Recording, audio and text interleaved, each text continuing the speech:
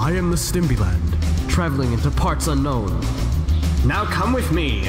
Join me on my journey to do things.